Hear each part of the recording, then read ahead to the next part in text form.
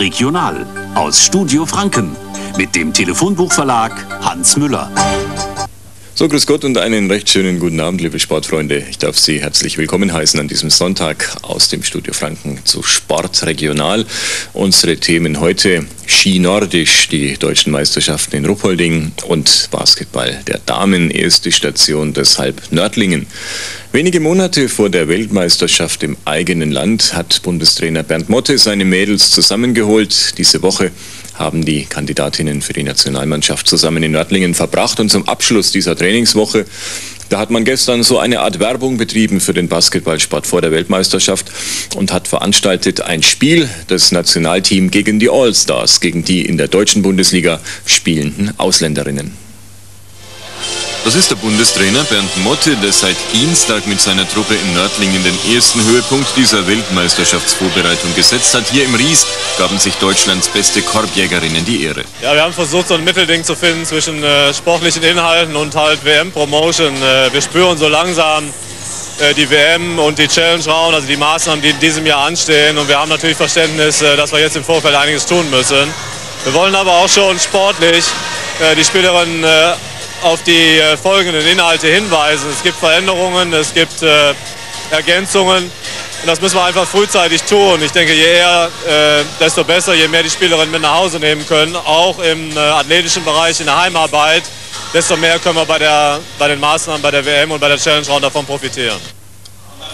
Tja, neu auch in Nördlingen dabei, die einteiligen Bodies der Spielerinnen, der Grund zudem für mehrere Fotosessions in der abgelaufenen Woche und der Start in dieses Weltmeisterschaftsjahr der erste sportliche Höhepunkt im Jubiläumsjahr der Stadt.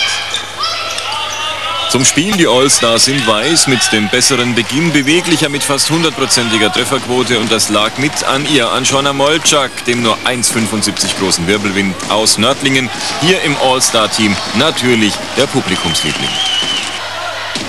Die Nationalmannschaft lief nur zögernd warm, möglicherweise ein bisschen müde, denn es wurde auf Kondition gebolzt, die Ende März, wenn es in die heiße Phase geht, natürlich stimmen muss. Die All-Stars zu Beginn mit schnellem, mit variablem Angriff. Da haben wir gleich die sieben Yvette Roberts aus Osnabrück und erneut der Pass auf Shona Molczak und die All-Stars zur 13 zur neuen Führung. Der Bundestrainer zu diesem Zeitpunkt nicht zufrieden. Angriff, Verteidigung, Rebound, da gab es noch viel zu tun. Gespielt wurde übrigens nach amerikanischem Vorbild, viermal zwölf Minuten. Und mit Ende des ersten Viertels kam die Nationalmannschaft in Schwung. Stefanie Götze, Fast Break und sie verkürzt zum Stand von 29 zu 33. Noch vier Punkte Rückstand damit auf die All-Stars. Und ein bisschen flotter als dieses erste Viertel, da waren die Pausenprogramme in Nördlingen mit dem Rock'n'Roll aus Aalen, die nicht nur die deutschen Meister im Ringen, sondern auch eine Tanzshow vom Feinsten zu bieten haben. Werden wir noch ein bisschen patriotisch und schauen auf den Bayerischen Landesverband. Stefanie Wegeler ist die einzige Vertreterin im Nationalteam, aber die 23-jährige Aschaffenburgerin, sie soll bis zur Weltmeisterschaft noch Verstärkung bekommen.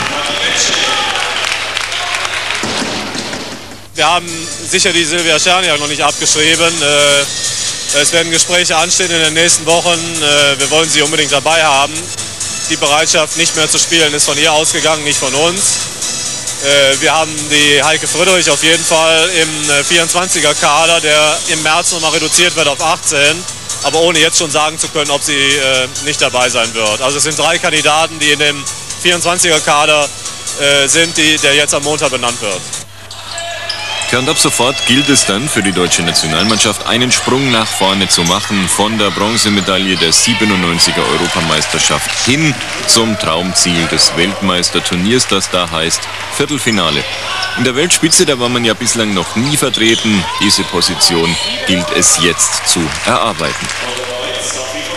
Und der Vergleich mit den besten Ausländerinnen der ersten Liga, wenn man so will, diese erste Art von Standortbestimmung wurde zufriedenstellend gelöst. Die letzten Minuten dieser Begegnung, Andrea Hohl, Deutschland gegen die All-Stars, Endergebnis 108 zu 97, dem deutschen Damenbasketball bei der WM. Alles Gute.